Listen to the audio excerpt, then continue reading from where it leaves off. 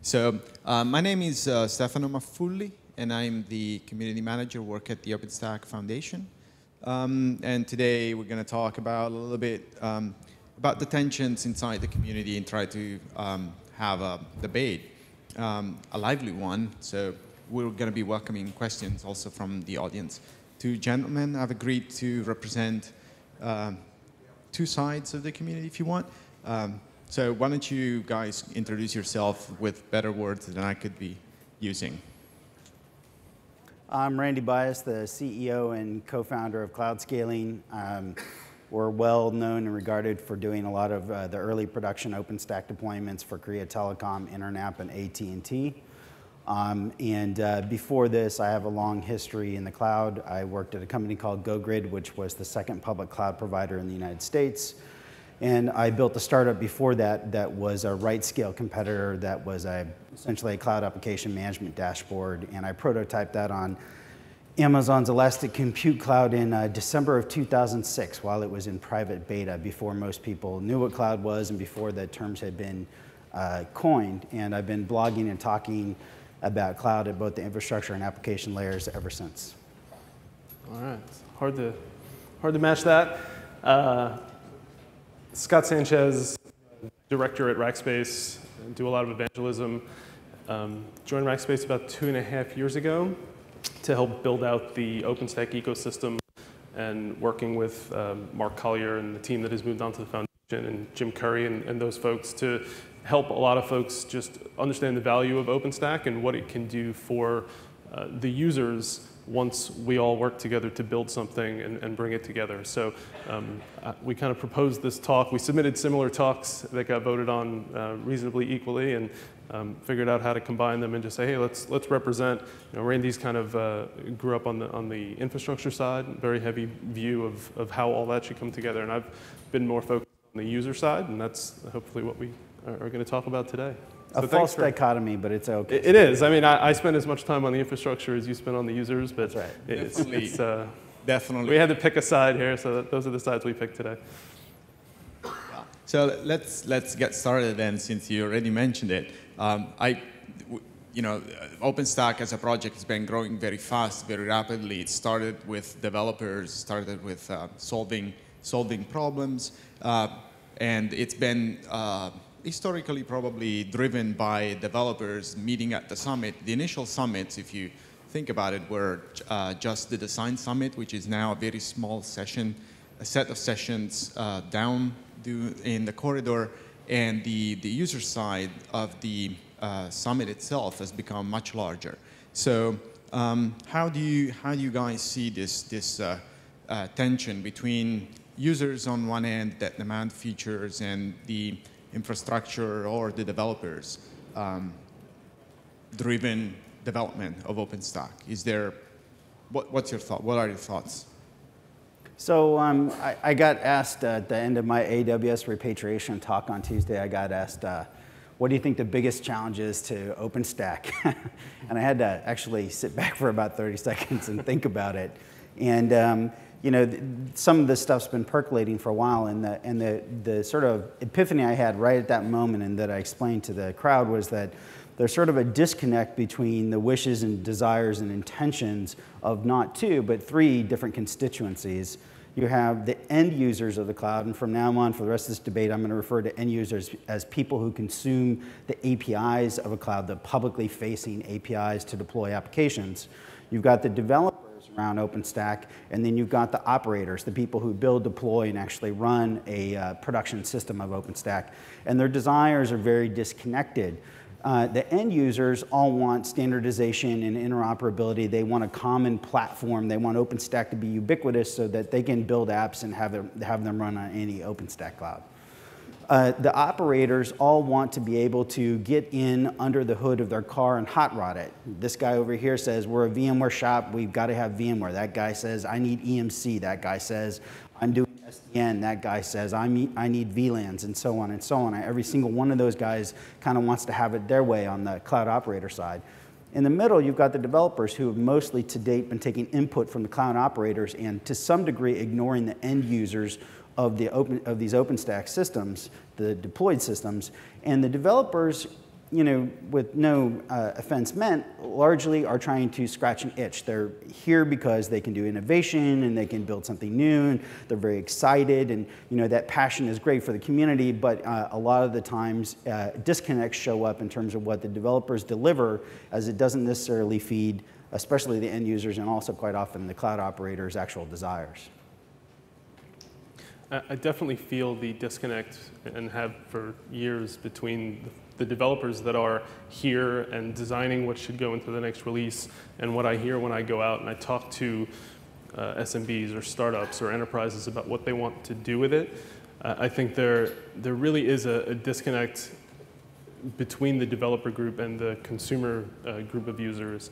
But the, the providers, I, I also think, are and working for a provider, you, you, came out of that space as well. I, I think that there's, there's often a disconnect there between where a provider thinks they want to add value or be differentiated and where the end user, the consumer user, actually wants to see that value. So you mentioned, I want to pick a particular kind of storage or I want to do something different at the infrastructure level so the developers that are here that are building OpenStack uh, feed on that because that's, that's the cool stuff that's happening. But the end users don't necessarily get the value out of that, or they may not be ready to consume the value out of that for two years. And there's a lot of things that could have been happening in the meantime to make their lives easier or, or make the outcome for them better.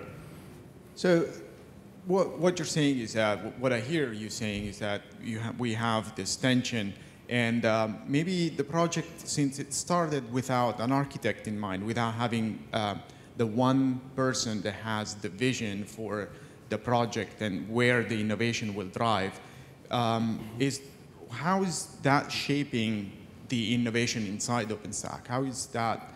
Because I'm, you know, I'm going back to uh, some some some wasn't it Steve Jobs that said users don't know what they want. You have to tell them. You have to give them the innovation because if you wait for them to innovate, they will never do it. Um, maybe an offensive way of uh, of describing the users of Apple products. But in, um, what, what, what do you think? I mean, we don't have that Steve Jobs inside OpenStack. Is that uh, a limitation, or um, how do you think the innovation will be coming from OpenStack? Uh, I mean, that's a really hard question to answer. I mean, I, we're a different community than the other open source communities that came before. We're charting our own course in many ways, and I, I don't think it's fair to compare it to sort of communities that have had benevolent dictators. Um, on the other hand, you know, you definitely see uh, some shortcomings in the technical decisions quite frequently uh, in OpenStack. For example, the default networking model is completely and utterly broken in every way possible that you could that you could imagine for a production system, and it hasn't been fixed in you know years. Um, and if you probably got you know 10 different developers around the table to talk about it, they'd give you 10 different answers about how to fix it, and none of them have a network background, right? And so that's a little bit of a problem. Um, on the other hand, you know, I, I do like this democratic process. I do like the fact that um, we come to conclusions by going through a struggle of ideas where the best ideas rise to the top. I mean, you know, I put a lot of effort into building the Cloudscaling team to have a certain amount of diversity of opinion, and I, I got a lot of opinions back home. And, um, you know, the whole reason for that was to build a team where uh, people could find each other's blind spots. Because quite frankly, in the early days, when we built off of my single opinion as the benevolent dictator, I made a lot of bad calls in terms of the technology. I made some good ones, I made some bad ones, but what I didn't have was a good track record. And no individual, I think, can have a good track record, um, but a group of individuals acting as a team can actually work together to have a very good track record in tactical and strategic decision making from a technical architecture point of view. But you actually have to construct it that way. We don't really have an architecture team uh, to replace that in OpenStack, right? Amazon Web Services has an architecture team. I don't know if people knew that. Um, you know, I have an architecture team, you know, so why, why doesn't the OpenStack community have an architecture team uh, to supplement the technical committee that can really provide input, right? Because at Amazon Web Services, how it works is that if you want to do something new or different that's going to change the architecture, you have to take your idea up to Werner Vogels and um, James, um, I forget what his name is, uh, Morova or Madrova, huh? James Hamilton, thank you. And there's several others there, and then you basically have to prove that your idea is valid, and they beat up on you, and you have to keep coming back until you know something comes through. And so that's, I, I, it'd be nice if we had that. It's a different kind of meritocracy. It's, it's, a, it's a meritocracy with a little bit of a um, uh, wisdom and oversight added. So I, I think that the way that we, as a community, do code review as things get written and committed and checked, um, when we look at the user committee and some of the recent efforts spun up around that, talk about an architecture um, overlord group that, that keeps track of things. I think that that group shouldn't necessarily be technical architects as much as it should be users, right? And so when you think about a feature, you think about a decision or a direction that fundamentally um, alters the path that we're on. I think it's the users that should have to kind of check the box and say yes. And that user group isn't just the end consumers, it's also the providers and the operators and, and other things. But I think a lot of the decisions that get made here at the summits and, and in between are, are driven by kind of the new hotness or you know what what the, um, the, the vendor that they're representing is is is in the market selling, and that doesn't always necessarily bring the best outcome for the end users. Having said that, we've made a lot of great decisions, and the number of users that are here consuming the platform is evidence that, um, for the most part, we're doing the right thing. But like you said, there's been decisions made along the way, or new projects spun up, or other things that you know, users may look at and, and not End feel users great can't about. make architecture decisions. End users are for providing requirements into the system. And so as those business requirements are interpreted, you figure out how to build an architecture that serves those business requirements. I, it's like going into a doctor's office and telling them, I've got the, you know, I've got the plague, give me penicillin, right? I mean, you can't go in and do the diagnosis yourself because you're not the expert. What, what you can go in is you can go in, you can explain your problem, mm-hmm. and you can actually help the doctor understand what you're trying to accomplish, and then they can actually solve it for you. And I think that's finally happening, right? We've got a, a large enough mass of users, whether it's service providers or uh, the bigger group, which are the people building applications on top of OpenStack, that a lot of that's happening back through the folks that are now representing, right? If we look up through Diablo, Essex, there just weren't really a lot of users to have those conversations with, but there are now. And you know, I, I would guess that most of you have had actual conversations with actual customers about what they'd like to see in OpenStack, how they wished it worked. Well, let's- let's- right? And so I'm not saying that they should come in and dictate the technical architecture. Let, us stop using They the word users. the I, I'd, like, I'd like you to use either operators or end users because right now, if you look at the user committee, it is, there are three people on it and they represent cloud operators. Correct. Right? Ryan Lane from Wikimedia, Tim Bell from CERN, and uh, JC from eBay. And all three of them are built and operate their, their cloud. They are not the end users. So Agree. that voice that you're talking about, I totally agree. I think we're in alignment get that it needs to get in there, bigger, right. but it's not, it's not there. It's not there today. The user committee does not have end users of OpenStack in there, you know, basically giving that voice. And I completely agree that we need their requirements in the system. And I think that it would shake loose a lot of this crazy spaceship building that you sometimes see in open in in the OpenStack community, right? Like, you know, does it make sense to go build X, Y, and Z if you know the actual end users who are u- consuming OpenStack clouds just don't care and aren't consuming that? Yeah, I completely agree. I think that the, the, the method that that occurs in can't be in a vacuum user group. That, you know, like the, the stats and the, and the End data that's or operators. end user group, right? The, the operators to me uh, are almost the least important group, Yes, right? agreed. The operators should have the user committees in their own companies that drive what they want to Totally say, agree. right? But the, the mass group of people that are over time going to make OpenStack more successful is not the operators, it's the people consuming the things that all of that is, is providing, right? It gets, um, it, we, we got to that point finally. We got to the point where we finally facing developers that are using the OpenStack clouds, OpenStack powered clouds. And when we get to that point, we start to um, getting a little bit uh, probably closer to to um, other set of problems. And Randy had um, uh, a, a post, a blog post during the summer about about this, about talking to these these developers. And maybe you want to you want to discuss about a little bit about what what sort of uh, what are the differences. Uh, the new things, the new challenges that you end up uh, facing when you go beyond OpenStack itself as the software, when it starts running on top of real infrastructure, and when you start make, uh, uh, bending OpenStack with uh, opinions, giving opinions to OpenStack, to an OpenStack-powered cloud. Uh, what is that entails for developers? Yeah, I mean, I guess, I guess it's funny because you know I I started off in cloud actually at the application layer building this tool that would deploy applications on EC2. So um, even though I am mostly historically an infrastructure guy, I have a lot of hands-on experience actually using these public and private clouds as a as a developer and user, writing chef code, writing Ruby, all that stuff. Uh, you know, writing low-level stuff to call the EC2 API, XML parsing, like pretty, pretty in the weeds stuff. And um, you know, the thing that became really apparent to me while I was at GoGrid was that the infrastructure is, uh, even though it's sexy right now, is pretty much totally irrelevant from a business point of view. There's no inherent value in infrastructure. Nobody gives a shit when it comes to the business. It does not make, if you have an EMC VMAX, right, deployed, and your, part, your competitor does, like neither of you has competitive advantage over each other. All of the real business value is up the stack from the infrastructure and the platform and the applications. That's where the true business value is.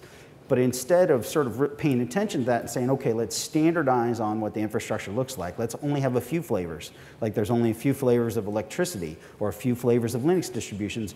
What we have is we have a bunch of snowflakes. Every OpenStack deployment is its own snowflake. It's completely unique. Everybody, when they want to play with OpenStack, wants to build a yet another snowflake because they feel that they've got some different requirement so that they need to build their infrastructure in some slightly different way, which doesn't serve the purpose of allowing the end users to be successful. And it, it confuses things in the development community because we're an inclusive community and the development community wants to serve everybody's requests. They want to serve the cloud operators and the end users. They want to you know, respond to the fact that this guy over here wants support for some strange esoteric storage system that nobody but him is going to use. And if you look at the user survey results, you'll see there's a long tail of all kinds of different technologies that people want to use with OpenStack, and every one of those actually incurs some technical debt.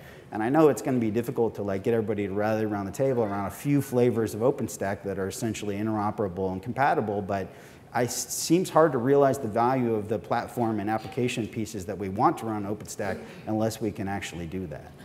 It's one of the things that makes me question why there seems to be a lot of friction as a community when we try and do things that are more up the stack to try and, and serve those end users better. You know, when you talk about the providers, um, they're trying to serve those same users, but they're, they're doing it uh, you know, really with, with some blinders on in terms of, like you said, thinking this storage will be better than the storage or, or whatever it might be. And the, the, that, that friction that I continuously feel up the stack, wherever it is, is frustrating because as a community, those are the people that matter. Right? The folks that are building clouds with OpenStack, we're trying to serve those users. The, the, people that are here learning how to build applications for OpenStack, you are those users. And, and, a lot of the, the discussions that are, that are had about, you know, should it be this format or this format, um, I feel like there's this divide between how much should we decide for them and push to them and say this is just the way it's going to be. Should it be three flavors or 30 flavors? Should it be one kind of storage or 50? You know, should we push that to them or should we let them pull and tell us? I actually don't think enough of the people building applications on OpenStack or any cloud for that matter, there's not enough people that actually know what the heck they're doing yet. And I do think that the smart people in this room need to tell them more as opposed to give them more choice. Well, I feel like it's a dialogue. I think that's part of what you're saying is that we need uh, that virtuous feedback loop where we get the requirements and the what, what's the business. Don't tell me how you're sick. Tell me what the business right. problem is that you're trying to solve, so that we can talk about that. Right? I mean, it's that whole challenge that Henry Ford had around talking to people, and they said, A car. What's that? You know, I, I, I, you know, how do I feed the car grass every 20 miles or whatever, right? I mean, you know, I want a faster horse. Make me a faster horse. Except a faster horse is uh, a longer process. Right. And you can have any color you want as long as it's black. Exactly. Right. So, you know, they're, they're, we're at this kind of like, you know, tipping point where we're starting to figure out how to build these private clouds and deploy applications on them that are highly scalable and elastic. And um, we need to get that, that virtuous feedback loop in there uh, not just in OpenStack, but even the product companies uh, that are building stuff on top of it as well. Yeah, the folks that were here exhibiting. And I was amazed when I walked in this morning that the entire expo hall is completely gone overnight. Um, but the, the, folks that are, that are here, I mean, we all have conversations with each other and with our customers every day. And you know, we've all got different things that we want to make available in OpenStack for, for whatever reason. But I think you take a step back and you look at how is a user actually going to consume this over this? Is there value in doing this over this? Should we consolidate the way that they look to the users and abstract that complexity, or do we expose that complexity? Is there value to the end users in, in, in those cases? And I think in a lot of cases the answer is no, um, but the users don't necessarily yet know what they're supposed to ask for. Right, to, to go back to the original question, do, do they know? Um, no, one, one of the things that um, was emerging from your conversation was that um, it seems that OpenStack is one project, one set of code, uh, but still we end up getting a lot of different snowflakes type of different implementation. So what, what do you think is, um, the, if, if the code is the same and we should have all the same clouds with the same behaviors, what is going to be the differentiating business factor? Why am I going to be able, as a, as a company investing in OpenStack, how am I going to say um, I'm going to be better at this than another if everybody behaves the same? Um, so there's, there's kind of two pieces there, right? So if you run the same software, you don't necessarily have the same cloud. I mean, uh, people need to stop thinking about OpenStack as being like downloading MySQL and creating a database, create database foo, semicolon, boom, your database is up. It's not like that. It's like downloading the Linux kernel and rolling your own Linux distribution. That's what it's like. Um, and so, you know, all the choices you make once you download it is what turns it into a snowflake, right? Uh, the simple example I gave on Tuesday during my talk is IP auto assignment. I have two OpenStack clouds. And on one, I've got floating IP auto assignment. On the other, I don't. Configuration option, same code, same release, completely different behavior, right? So that's, that's, a, that's a problem. That's why I keep ranting on the fact that we need these flavors, because then you can compare it, right? Is this an AWS compatible cloud, a Rackspace compatible cloud, a vCloud compatible cloud? What is it? What kind of OpenStack cloud is it? Um, and then the second part of the question was Remind how me. How to differentiate business? How oh, how to differentiate. So like hosting providers have been very successful, like Rackspace, pre-cloud, uh, without a lot of differentiation. And the reason is, is that, you know, at, asking to differentiate infrastructure is like asking to differentiate water and electricity, right? It's like, oh, am I going to get water from this guy who's distilled it and has colored it red, or am I going to get water from this guy? No, you're just going to want to turn on the damn faucet and the water comes out. That's all you want because what you're actually trying to do is the application of that water, of that utility, right? You just want to boil something or cook something, or if it's electricity, you want to power something. You know, you don't really care about that lowest level commodity. So these service providers need to be looking at ways to actually help customers solve problems where the business value is at the platform and application layers, because that's fundamentally where there's true value. Whether I use an EMC and you use a NetApp or Ceph or Gluster or something else, there, that's, there's no inherent value in that infrastructure technology to a business. Yeah, to use the, the water analogy, we want to make it easy to get the water when you need it and make it hot or cold when you need it and give you a, a comfortable glass to, to drink it in. And it, like, it, that's where the differentiation should be coming from. But you're right, a lot of people are um, looking to, to re-engineer how the pipes look behind your sink that no one will ever see. Exactly. Right? Hey, this water comes out um, you know, with, with, more air in it, I, I, really don't care about that, right? It's evaporated before it gets to, to my lips. How, how, how does it taste when I drink it, and, and how easy is it to use, I think, or where the differentiation needs to come from. The whole experience of using it and how, how, it, how it benefits me is where the differentiation should come from. But as, as a global community, I think the, um, the folks that primarily are represented here, not all of us have made that journey yet. Um, maybe this is a good time to ask for questions. Ryan. So I just wanted to make a clarification to the user committee.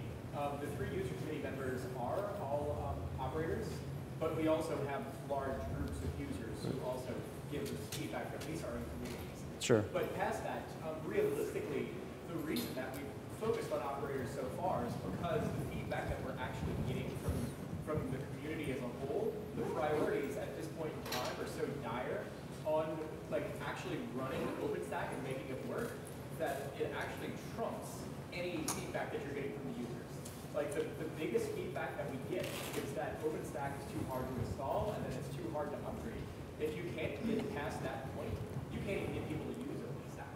And that means they're not going to have users to begin with. Um, that said, um, our first iteration of getting feedback is mostly directed at operators, but our next priority is definitely getting it from end users. Great. Yes, sir. Um, I have kind of a two-pronged response to some of the criticism that you've given here of, of engineering and the snowflakes. Um, I- Not, n- not criticism. Observation. Healthy debate and observation. Okay, so you say we should have a dialogue, right? The way you have a dialogue in the business world is you offer different products and you see which ones get bought, right? That's what's going on with the snowflakes, right? So this, we're actually doing the dialogue in the way that makes a difference, right? I'm, I'm not sure you're really honoring the the, um, the significance of what the uh, engineers and developers are trying to do, right? Everybody who puts in a new kind of file system or whatever, right? They're doing it because they think it actually delivers something that's valuable to end users, right? No, I, I value it, but so I was a Rubyist for a while. I haven't touched code for a couple years now, but um, one of the things that frustrated me the most about the Ruby community is that at the drop of the hat, they would re they would reinvent a new piece of code. Like, oh, I don't want to use a messaging system in Java, so let's just write one in Ruby because one doesn't exist. That's great. Okay, one out of 20 times, some amazing thing came out of the Ruby community. The other 19 times, garbage came out. And you would go out there, and I, as a Rubyist, would try to use tools, and I would go and I'd find out they were half dead. There's not really any community around it, no contributors, and it's not, the code isn't where it needs to be. And I don't have the time to go fix that. And it was very, very common. There was like almost like a graveyard of projects that were subpar and were out there just kind of taking up space and mind share. And so I, I agree with you to a point, but I mean, I think the reality is, is that you know, we don't need to go out and invent everything in OpenStack. There's lots of other things out there. And, you know, why aren't we building our own database? Why do we use MySQL or MariaDB? Right? I mean, we should be thinking about that, right? I mean, not to, and I'm not trying to criticize to criticize, but you know, why did we build Keystone? I mean, there's so many identity management platforms out there that are extremely robust. Why isn't that a pluggable part of the system? And if we were going to build it, why doesn't it use OAuth 2.0 instead of some bastardization that looks like OAuth 2.0 but isn't OAuth 2.0 and isn't interoperable? I mean, those are design decisions that don't make sense. They actually hurt us and incur technical debt that is not good for the community, the developers, the operators, or the end users.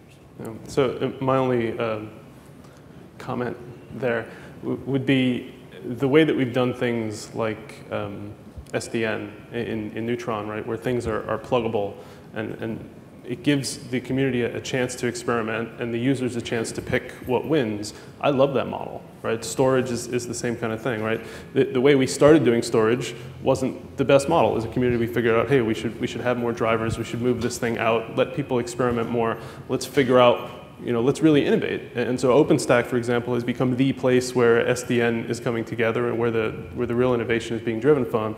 That's great. And the users are, are picking the winners. You can see in the, in the user survey what's starting to, to take shape. I love that. Uh, other decisions that we make as a community, whether it's about projects or related projects or ancillary projects or any of the other names that we give things, um, if you actually go back and, and look at what the users are asking for, it's not always those things. You, know, you brought up database as an example, right? Where we, we focus a lot of time and debate, healthy debate, uh, but debate about different things that aren't always what the end users, the consumers of these platforms, would be looking for if we asked them. Okay, so uh, we have so many flavors and we, we're facing so many uh, snowflakes. Uh, as an operator or consumer of OpenStack, do you have any suggestions, you know, that we can make the best out of the current, you know, uh, nightmares? a lot of folks that are that are using uh, the Rackspace cloud do that through some kind of abstraction layer, and it's not necessarily the best solution. You could argue for or against that model um, for a lot of companies, but that comes from the fact that many people moving to OpenStack and, and OpenStack powered public clouds are moving from Amazon or moving from VMware, some other platform that they've already coded against. And so to the Snowflake example, there's some things which make even an abstraction layer hard, like the way I give you a network or the way I authenticate you that doesn't necessarily just change your target endpoint and be done. Um, but I think you're going to see a lot of that. No matter how hard we as a community work, we're still going to have a bunch of that in the foreseeable future. And they're going to have environments that encompass technologies that aren't OpenStack too, right? So I think you're going to continue to see some of that abstraction layer, uh, whether it's homegrown or, or some other project. And the important thing, uh, i you know, what I want people to take away is that we do need the flavors and not the snowflakes, right? I mean, it's great that people want to experiment. I want them to experiment. I'm not saying don't experiment, don't innovate. I'm just saying that for the stable production OpenStack deployments, you know, there needs to be some opinion in there, and they need to be somewhat more standardized. And we need to use, use things like RefStack, which Josh and, and, and others are working on, uh, with combined with Tempest tests to test those flavors. Like here's the AWS flavor, or what we call the Elastic Cloud flavor. Here's the Google Compute Engine flavor. Here's the vCloud flavor. Here's Rackspace Public Cloud. Whatever they are. Um, and then you know people can actually check to see whether they conform to compatibility and interoperability with those systems. And then you know kind of to your point, you know hopefully end users will choose what they like, and then you know the winners will rise to the top, and we can all get where we want, which is you know the final emergence of a few things that are dominant. This car drives on the left, this car drives on the right. So I, I, I'm not saying this to pimp my personas talk after lunch at 1.30 in this room.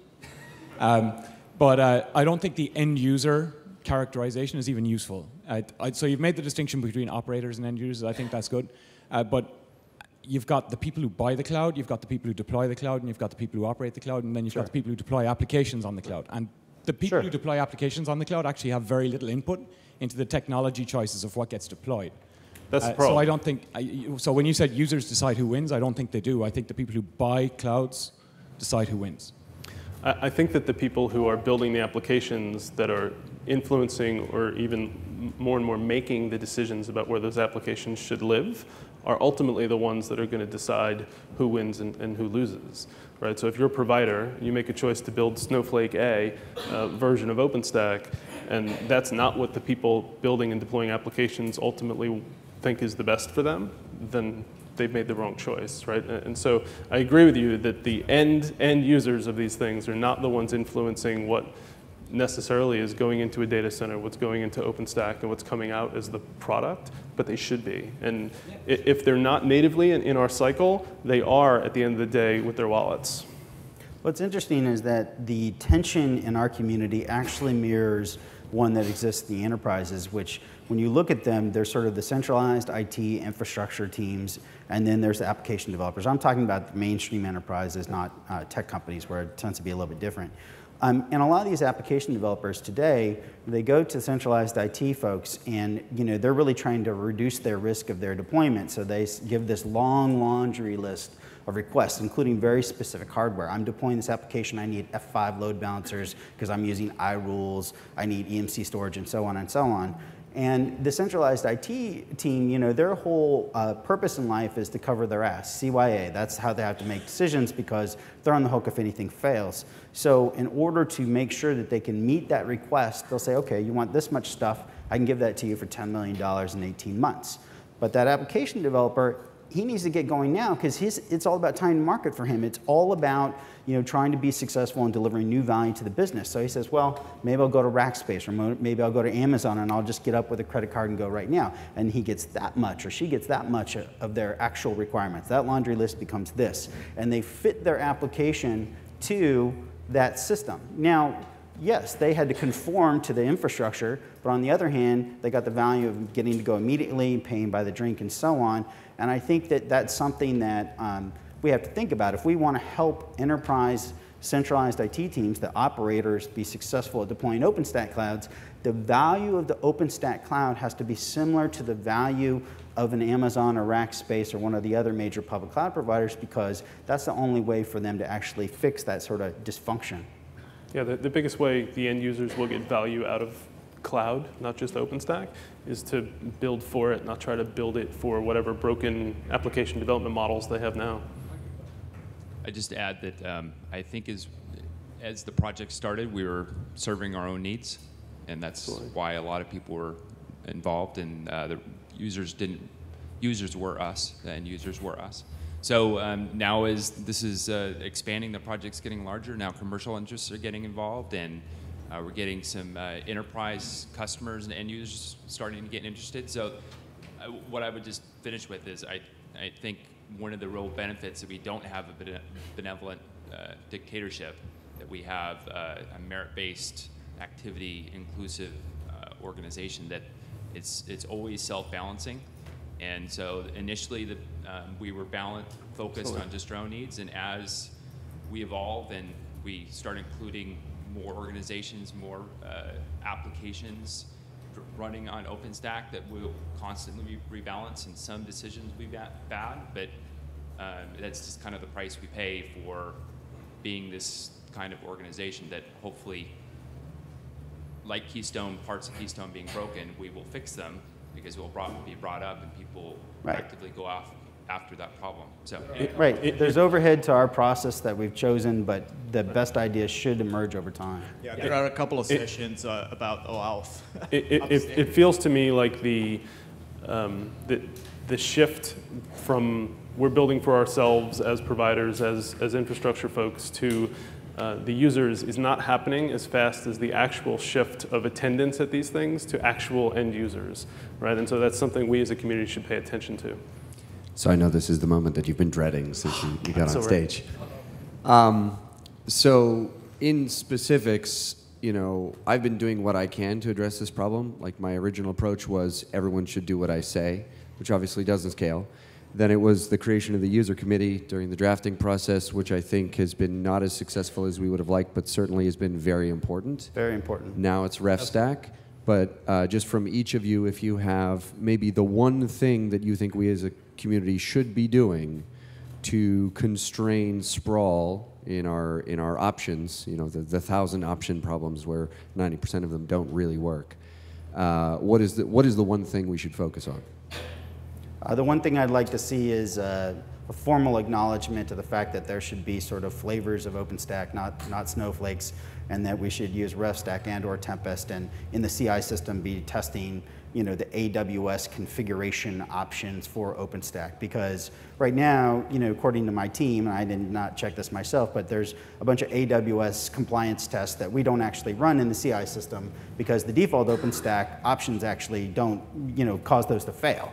So I'd like to see us, you know, testing these flavors in the CI system and sort of tracking from release to release that we're making sure that we are, you know, have a flavor of OpenStack that's conformant with all the flavors we think make sense. And we should allow anybody to come up with ideas for making flavors. It should be a really easy process, just like it is to add code so that we can, you know, get a whole bunch in there and then what people choose to use will rise to the top and we'll all follow that. So we have set up RefStack to run all the Tempest tests, including the sort of not on by default getting ones. there. So we can we can look at it and say, oh well, the reason we don't run those tests is because nobody's cloud actually supports them. But we Right. can go through that. Yeah, and thank you for that work, Josh. Yeah. Uh, The, the one thing that, that I would look to do is to better, uh, maybe more crisply define the operator, user, and user type of roles. And, and right, and, and, and make sure that those roles are adequately represented in the technical committees and, and other groups, whether they're elected or, or appointed or um, self-identified, that the ratios, maybe, it, maybe it's every six months when, when we come to these things that we, we survey and we look and we say, okay, how many people fit into these groups? Let's make sure that the representation we have on the groups making the decisions reflect that. And I think to, to Sean's point a, a second ago, right, that that's kind of switching over time. And I think the, the balance is, is going to be, if we look a year from now, it'll be much heavier on the end user side. And we should make sure that the efforts we're doing, like Josh or, or anyone else, represent the people that are consuming what we're building. Let's take one last question. So is it possible to have experimental or lab section in OpenStack so that, you know, uh, for my requirement, maybe it's a special requirement for telecom, maybe like, you know, the, all the instances should be extremely, you know, in the same host. Uh, currently, maybe the scheduler is not doing it. It's maybe it's supporting for other and other uh, cloud providers, but for telecom, this is a requirement. Uh, could be. So if we turn on this uh, flag or you know a feature, experimental feature, uh, it helps people to reduce the snowflakes and try it out, and then you know. Yeah, that's and a give, good give it example. back to the community. Right, there should be a, a flavor or a couple flavors for, for carriers because they have very special requirements. So, Okay. Basically, opinions. Publish and maintain opinions for OpenStack. So that. Um, so I have one last question for the panel, but I, I'm really afraid to throw it at the end. So any other question? Oh,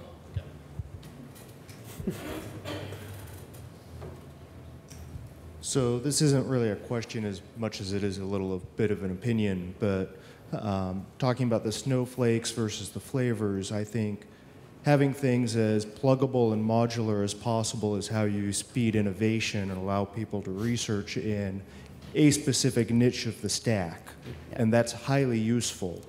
Um, going to flavors, though, I think the issue of how hard it is to stand up a new uh, OpenStack instance and get it useful for end users, um, perhaps reference implementations might be a better way to think of flavors and come up with a standardized set of reference implementations that go through test and have documentation of here's how you stand up this reference implementation and meet this set of uh, requirements. And you know, that might be the area that an architecture board or something might be useful for to take, hey, is this new module or is this new feature ready to be put into a reference implementation? Yeah, that's really the intention. It's to get the flavors defined and then to use that to, to actually build, you know, heat templates or some other kind of description that TripleO or something like that can then use to stand up specific deployments. But I, I just want to point out real quick, and I, I know this is going to be real hard for people to swallow, but you know, one of the epiphanies I had on Tuesday about the mission, the original OpenStack mission, is that at the very end it says the objective is to be simply installable and massively scalable. Those are two very opposing approaches, right? You know, I've built my system to be massively scalable, and it's freaking hard to make it easy to install. And if you go and you say, okay, can I get Amazon Web Services and just go install Amazon Web Services with a push button? No, you can't, because it's really massively scalable.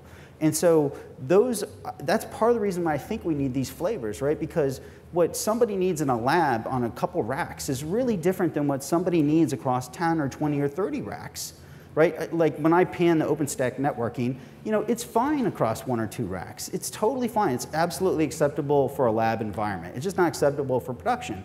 But why isn't there like the easily installable lab environment flavor of OpenStack, right? That's like really vetted, you know, to, to plug my competitor's product, you know, uh, something like Piston has got an opinion in it so you can stand it up really quickly on five to 10 servers without a lot of trouble. And I think that's very useful for very specific use cases.